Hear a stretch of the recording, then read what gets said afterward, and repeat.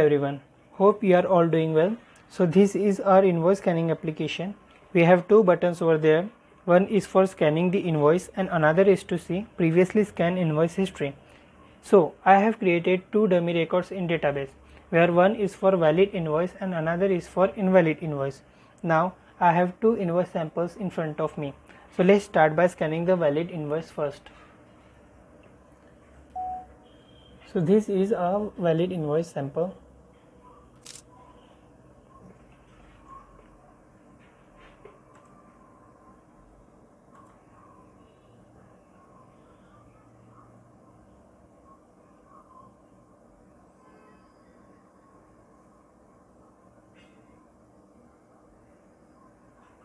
okay so as we see we have successfully retrieved all the valid information. Now we will save our document. We see the pop-up saying that invoice has been successfully verified.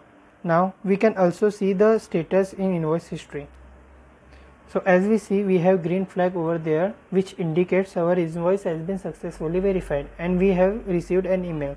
So let's check the email So this is an email sample when invoice successfully verified. Now let's start by scanning invalid invoice.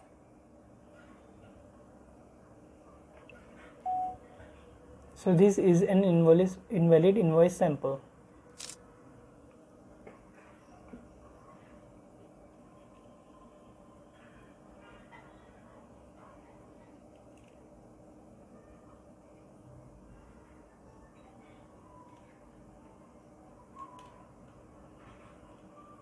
Okay.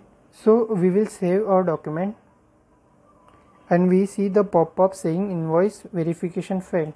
And also we can see the status in invoice history.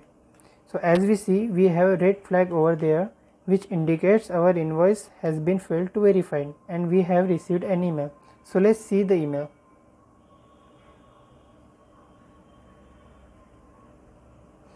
So this is an email sample when invoice verification failed